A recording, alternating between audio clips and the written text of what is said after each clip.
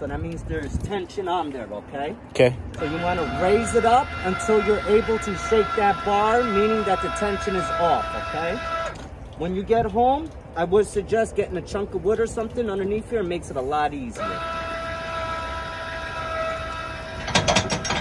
You see how now that bar is able to move? Mm-hmm. That means the tension is off, okay?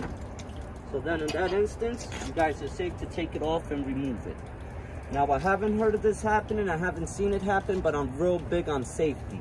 Whenever dealing with this, I like to stay out of the swing radius, okay? This is solid steel. If this catches you, it'll take your kneecap out and never be the same, all right, bud? Mm-hmm. All right. First things first, when you guys are at home, you're gonna back up your truck, bring this down onto the ball, lock it in. Once you're locked in, I want you to raise this back up, okay? Mm-hmm. Once you raise it up, you're gonna take the arm, pop it in. To release the arm, the arm has to be in this direction, okay? It has a pull tab over here. You pull the tab, it slides out. To go in, locks in, okay? Once you raise it up, swing the bar over, right onto here.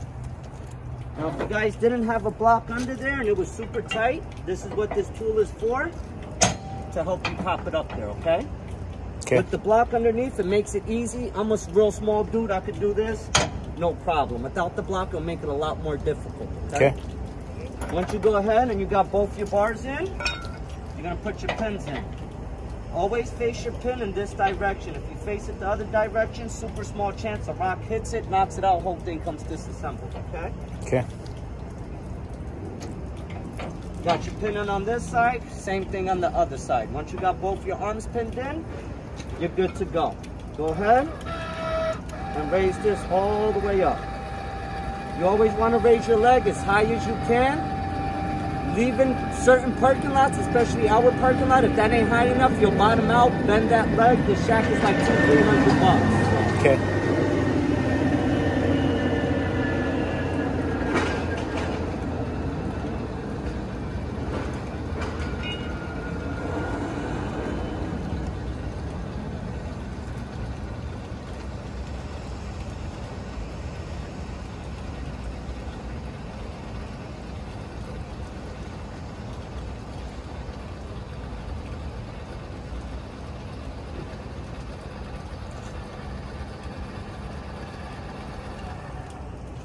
All right. Once you got your leg all lifted up,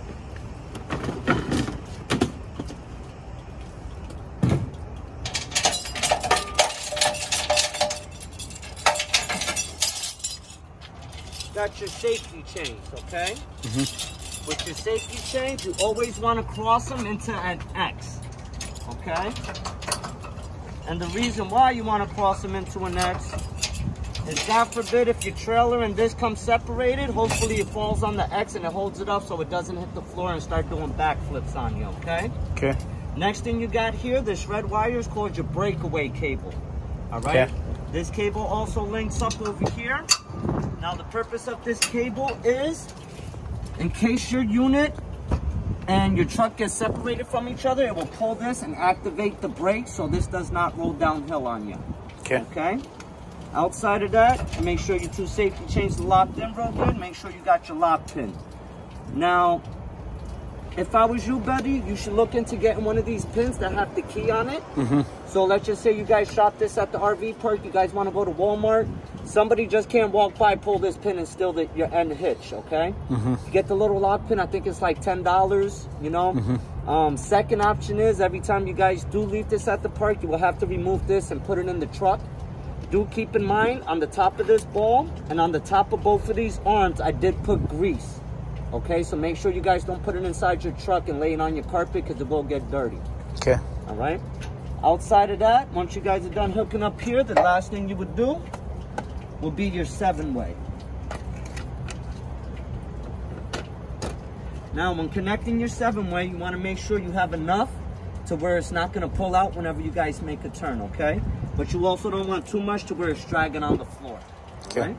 You got any questions about your setup right here? Um, so do I gotta grease these? No. Um, the grease on here and the grease on the two arms should be good. Okay. Okay. Now, if at some point you know you wind up wiping off the grease, you can always add extra grease. I just like to add grease on these three points because they're friction points. So the grease makes it go a little bit easier, you know. Okay. All right. Um, oh, one more important thing. Um, I did f- not find an instruction manual with this. Okay, the owner's manual. Mm-hmm. I've done a lot of these hitches. Inside the owner's manual, I do not remember the specific number, but you may have to look it up online. There is a certain amount of maintenance you have to do with this. Okay. Okay. Do not quote me, but from what I remember, is something to the effect of every 3,000 miles you have to like retorque, retorque certain bolts and stuff like that. Okay. Okay. Um, another big thing with this is you could back up with this setup. You have to back up straight. If you back up making turns, it will bend up your bars and will cause you issues over time. All right. So how do you back up at an angle? Um, I do not know. I never drove one of these personally. Oh wait, it swivels on the ball, no? It swivels on the ball, yes, but these ain't meant for super hard turns. Okay, you'll tear up these little L-shaped brackets making hard turns in reverse. But I mean, if I were to pull in here, right here, there's no way I could back it in. I do not know. You will have to look that up on your own. Like I said, I never drove these. I just know, to my knowledge, these are not supposed to be backed up and turned hard because it will tear up these brackets. I just had a guy last week who came in. He had one for under a year, and his these little L-shaped bars were all bent to crap. And the reason why was because he was making hard turns and reversing all the time with it, and it tore him up. You can look more into that. That's just the knowledge that I have as of right now. So how do I turn going forward? Turn it's the same thing. It's not an issue. From my knowledge, what I was told was going in reverse. You're not supposed to drive this in reverse with these bars on it. Making hard turns. Okay? You could look that information up yourself on their website, the Road, Roadmaster website, and double check that. But like I said, to my knowledge, you are not supposed to make hard turns going in reverse. Okay. Okay? Um, outside of that, um, you want me to show you how to operate that brake control real quick? Uh, yeah. Let me stop.